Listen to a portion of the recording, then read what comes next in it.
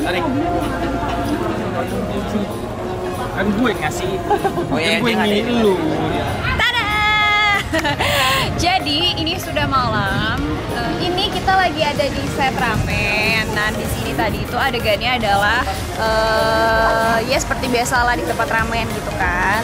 Di, tadi sini itu ada sama Marcel. di atas terus turun nih dua orang ini Nih, dua orang paling lucu nih. Paling lucu. pakai sling Kayak kalau salah dong. tiga Oh my god, really bell.